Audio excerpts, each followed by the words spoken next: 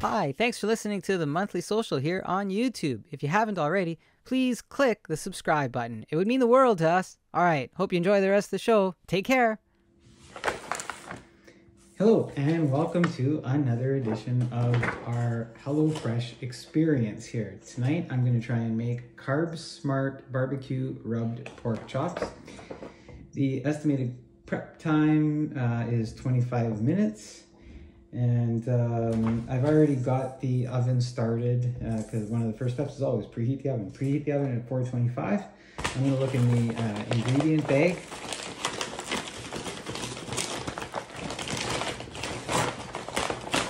And today's ingredient bag, we've got a healthy portion of broccoli that we're going to put in the oven. We've got a bag of spinach. Put that aside. Got a couple of uh, shallots. Got to dust those off and, and cut them, it looks like. Our friends, two tomatoes for the stock for the spinach salad. And we've got some uh, white wine vinegar. So today we're getting vinegar to use. So Interesting there, a couple of pods of that. And it looks like we've got some sauces. We've got barbecue sauce and we've got a barbecue seasoning packet. So I'll put those aside and that's everything. And I know we have the pork chops. I had those in the fridge. There's our HelloFresh uh, pork chop packets and there are two pork chops in each packet. Um, yeah, so I'm gonna get that stuff going. I'll do some of the first prep, which is they want me to uh, cut the broccoli down into bite-sized pieces and put them on this um, uh, parchment lined pan. So I'm gonna go ahead and do that and uh, I'll be back.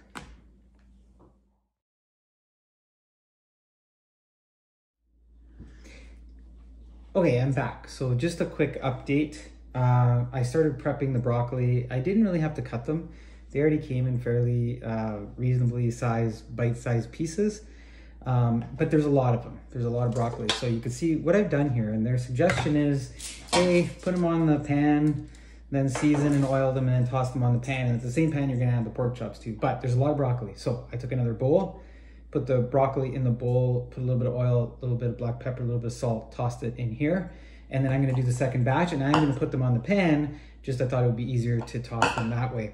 I cut the tomato, uh, two tomatoes for the uh, spinach salad and the shallots. So I cut one shallot and there's, there's a lot of shallot here with the one that I cut and they'd also given me a second one given the amount of uh, the portion of uh, the spinach, I don't think I'm gonna cut the, the extra. Now, I've been really trying to stick to the recipes where it made sense, uh, but I don't think it makes sense because that's a lot of shallot for that uh, spinach when we once we make the dressing. So um, the stove has warmed up. What I'm gonna do now is get the broccoli onto the pan.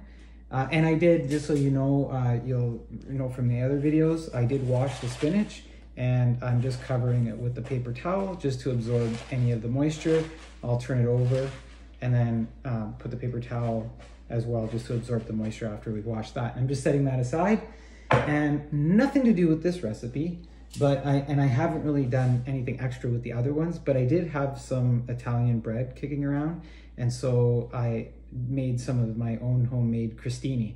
Uh, put those in the oven. So you slice the bread, you use some olive oil, um, you uh, can uh, use some um, uh, salt uh, and uh, you can really put anything. You could even put some red peppers if you wanted to. I didn't because uh, if you're serving kids, they don't really like the, the hot red peppers, the chili peppers.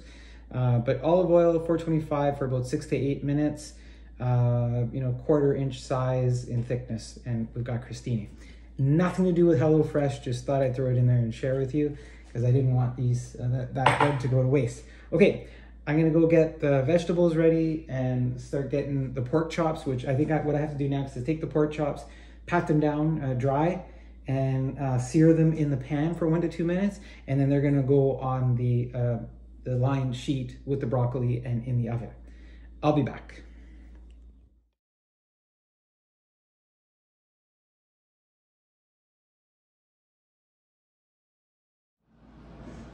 Okay, I've got the pork chops and the broccoli in the oven. I've mixed the salad uh, vinaigrette, which is uh, the uh, vinegar that they provided, and then some uh, oil. I used olive oil and some sugar, uh, salt, and pepper. I added the shallots in there, and now I'm gonna take the. Uh, I'll add that in a little bit to the spinach along with the tomatoes. So I'm just waiting now for about another nine minutes for the pork chops and the broccoli to uh, bake in the oven. And I'll be back and I'll show you what those look like and uh, maybe the final plating. See you in a bit. You've got the uh, pork, the broccoli, and the spinach. A little bit of juice from the from the pork. Hopefully that looks all right. But uh, I'm gonna go and, oh yeah, this is our, our garbage bowl, not a lot of waste. I'm gonna go and eat it and I'll let you know if it was tasty or not. Okay, well, we finished the uh, Carb Smart Barbecue Rub Pork Chops uh, dinner. Um, and the verdict is uh, mixed. So uh, the pork chops were relatively the same size, but some were juicier than the others. We had a couple that maybe were a little drier, and I went with the recommended uh, cook time in the recipe card. Um, so added a little extra barbecue sauce to kind of get through it. Salad was okay. Uh, I think we're noticing the extra sugar that gets added to some of these. So we were talking about that as well. Um, broccoli was probably one of the more favorite things. So uh, in terms of cook times, it said 25 minutes and I was within about five minutes of that uh, time. So one more to go. This was number four. Uh, I think overall so far this might be our least favorite one, the pork chops, but I'll do a round out at the end of the last one, which is tomorrow.